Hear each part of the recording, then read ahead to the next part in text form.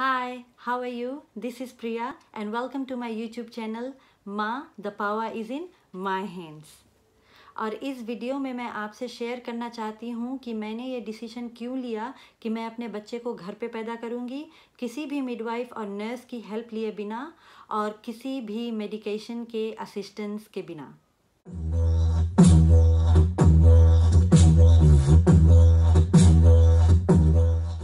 जैसा कि जब हम सब प्रेग्नेंट होते हैं, सबसे पहले अपने डॉक्टर के पास जाते हैं टेस्ट करवाने के लिए तो मैं भी गई और मेरे ब्लड को टेस्ट के लिए भेज दिया गया और डॉक्टर ने मुझे स्कैन के लिए पूछा तो मैंने बोला, आप प्लीज़ मुझे सिर्फ़ वही स्कैन के लिए भेजे जो एब्सोल्युटली नेसेसरी हो. तो उसने बोला, ठीक है, तुम सिर्फ़ जो बच्चे का डाउन सिंड्रोम वगैरह चेक करते हैं, वो स्कैन करवा लो, जो कि कुछ हफ़्ते बाद था। मैं घर आ गई और प्रेगनेंसी के बारे में बिल्कुल रिसर्च करने लगी, क्या खाना है, क्या पीना है और प्रेगनेंसी में बॉडी के साथ क्या होता है और ये सारा कुछ मैं रिसर्च अपना करने लगी। उसी बीच में एक फ्रेंड ने मुझे दो बुक्स के बारे में बताया जो कि मैंने ऑर्डर कर ली प्रेगनेंसी की बुक्स थी। तो दोनों में से एक बुक में वाटर बर्थ के बारे में एक सेक्शन था जो कि मुझे बहुत इंटरेस्टिंग लगी। तो मैंने उसके बारे में थोड़ी और रिसर्च की और साथ साथ जो हॉस्पिटल में मेरी बुकिंग हुई थी बेबी बर्थ करने के लिए आ, उसके बारे में मैंने गूगल किया कि वहाँ पे वाटर बर्थ होता है या नहीं। तो गूगल पे बहुत ही सुंदर सुंदर इंटरेस्टिंग और पोशी काइंड ऑफ़ फ़ोटोज़ थे उनके बर्थ पूल का और वेटिंग रूम का और बहुत ही प्यारी लाइटें लगी हुई थी और ये सारा कुछ फ़ोटोज़ जो गूगल पे था, वो देखकर मैं बहुत इम्प्रेस्ड हुई और मैंने बोला, मैं यही ऑप्शन चूज़ करूँगी. तीन महीने बाद मैंने अपनी प्रेगनेंसी योगा भी शुरू कर दी। फिर कुछ समय बाद मुझे एक आंटी मिली, जिन्होंने मुझे बोला कि उसकी बेटी ने ना अपने बच्चे को घर पे बोन किया है।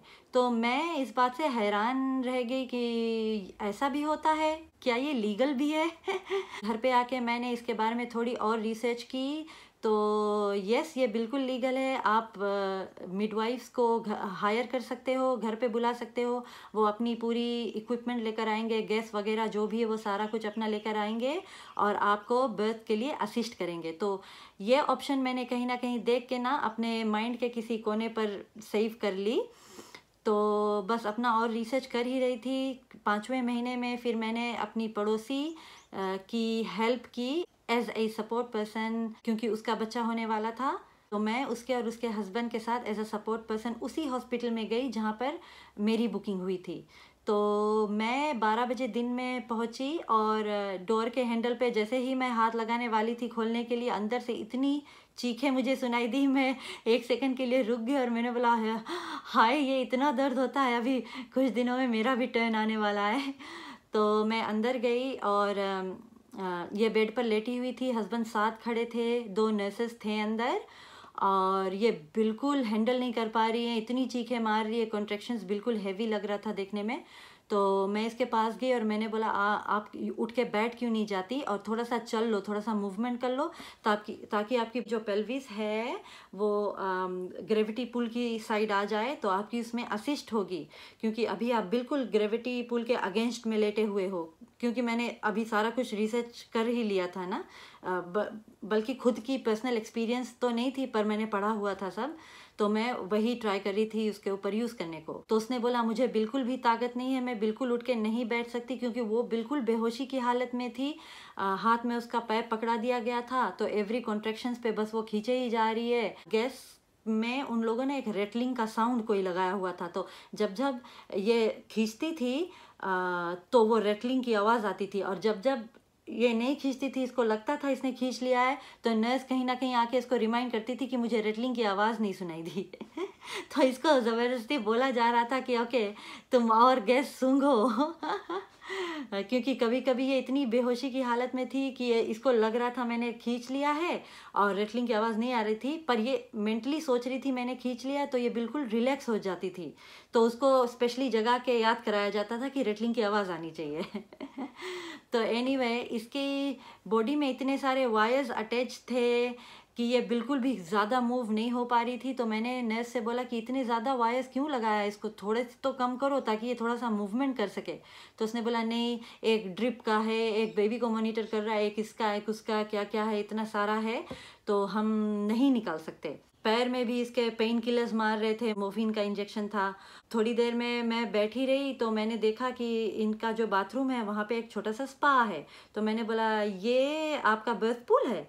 तो उसने बोला हाँ हाँ यही हमारा बर्थ पूल है। तो मैंने बोला पर गूगल में तो ये सारी फ़ोटोज़ दिखाई जा रही हैं इतनी फैंसी फैंसी फ़ोटोज़ हैं। तो बोल रही है वो क्या है ना वो हमारी नई बिल्डिंग बन रही है तो आ, उसमें अभी ये नया पुल इंस्टॉल होगा। जबकि गूगल में बता रहा था कि this is our birth pool so that was misleading and I was a bit disappointed there क्योंकि मैं जिस तरह का ये स्पार दिख रहा था मैं तो मैंने तो कुछ और ही सोचा था।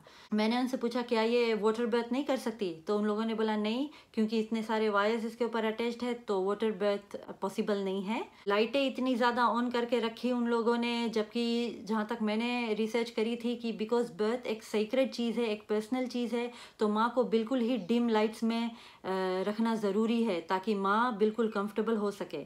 तो यहाँ पे तो लाइटें तो ऑन है ही और बीच बीच में उनका सर्विक्स चेक करने के लिए एक बड़ी सी लाइट उसके ऊपर लगा देते थे। एक नेस चेक कर रही है, दूसरी नेस चेक कर रही है, फिर डॉक्टर भी आके चेक कर रही है।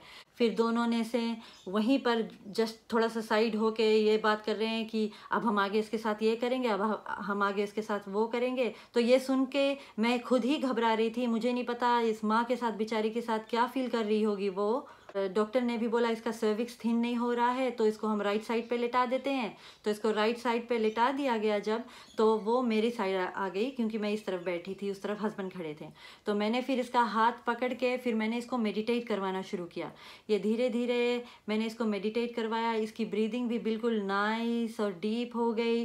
धीरे से मैंने इसके हाथ से पाइप भी निकाल के अलग रख दिया और इसको जब कॉन्ट्रेक्शंस भी आ रहे थे तो इसका बस चेहरा थोड़ा सा ऐसे बन रहा था और रिलैक्स हो जा रही थी। बिल्कुल चीखना तो बिल्कुल ही बंद हो गया था। बिल्कुल आ तक नहीं किया उसने।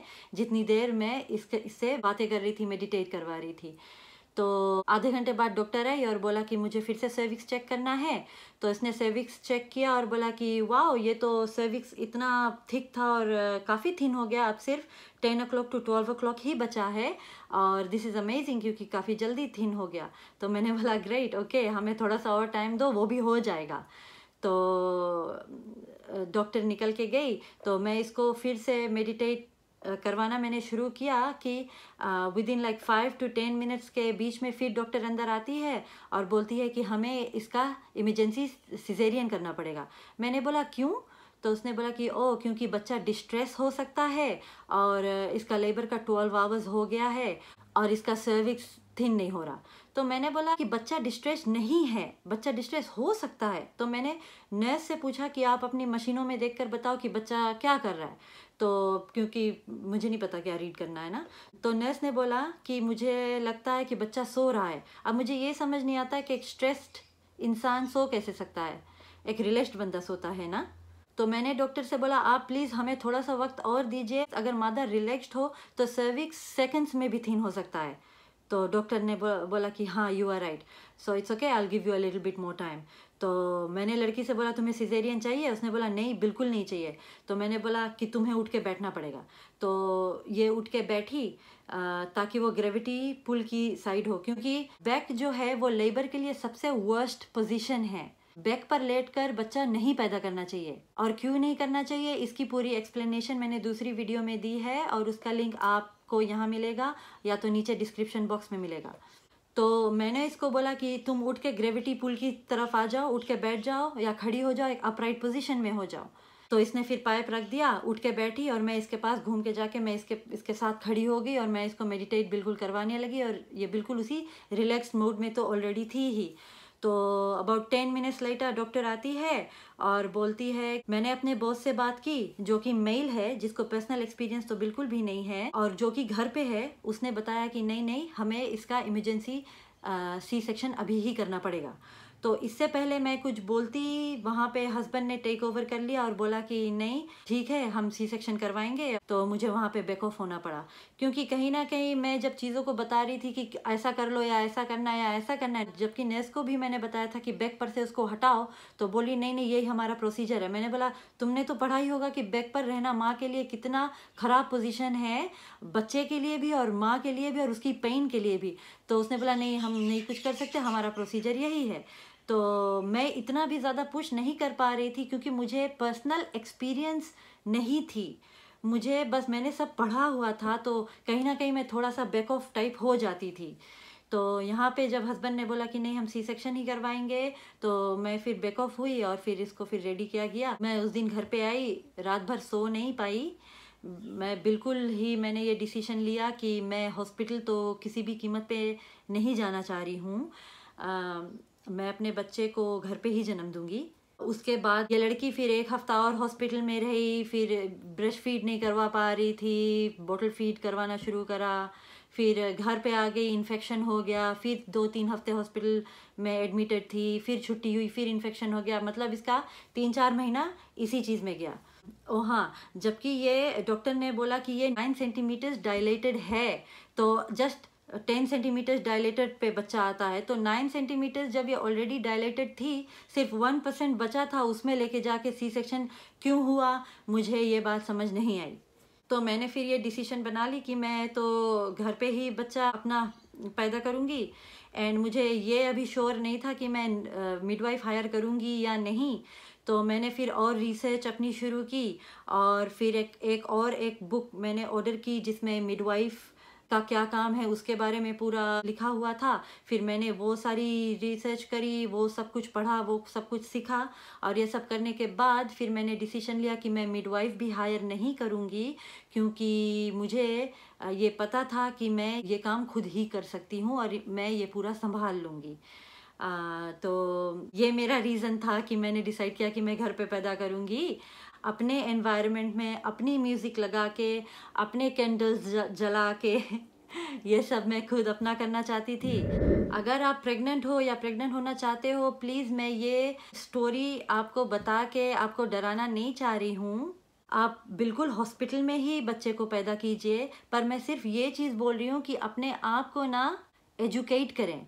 अपने हस्बैंड को एजुकेट करें, अपने आप को एजुकेट करें कि प्रेगनेंसी में आपकी बॉडी कैसे चेंज होती है लेबर में क्या क्या चीज़ें होती हैं, ताकि अगर कोई भी आपको आके कोई प्रोसीजर के बारे में बताए, आप उसको बिल्कुल सही तरीके से क्वेश्चन कर सकते हो। आपको अगर कोई चीज़ सही नहीं लग रही तो आप किसी चीज़ के लिए ना भी बोल सकते हो, क्योंकि आपको बिल्कुल पता होगा कि आपकी बॉडी में क्या चल रहा है। अगर आप बिल्कुल ही अनजान हो और इसमें आप हॉस्पिटल चल देते हो बेबी बोर्न करने के लिए तो कोई भी आपके लिए कोई भी डिसीशंस बना रहा है और आप जितने एक्साइटेड हो अपने बेबी के लिए, आप जितना वेट कर रहे थे अपने बेबी के लिए ट्रस्ट मी कोई और इतना एक्साइटेड नहीं है, क्योंकि सब अपना जॉब कर रहे हैं, उनके लिए आप सिर्फ़ एक पेशेंट हो, जो कि एक प्रोसीजर के लिए आए हो और आपके बाद कोई दूसरा पेशेंट आएगा तो उनका ये डे इन, डे आउट का काम है तो इतना भी कोई आपके बारे में वरी नहीं करेगा कि आपकी बॉडी के साथ क्या हो रहा है, आपके बच्चे के साथ क्या हो रहा है फ्यूचर में आपकी बॉडी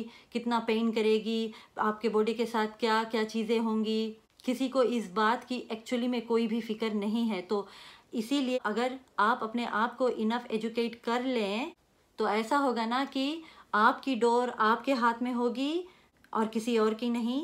तो आप बिल्कुल हॉस्पिटल में जाके पैदा कीजिए, आप वो मत अटेम्प्ट कीजिए जो मैंने किया है।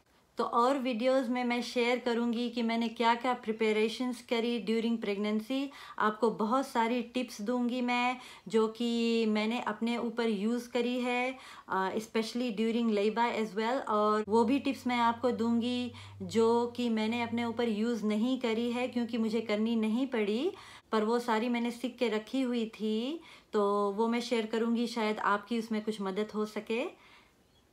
or please subscribe the channel and hit the bell icon so that you get all my future videos.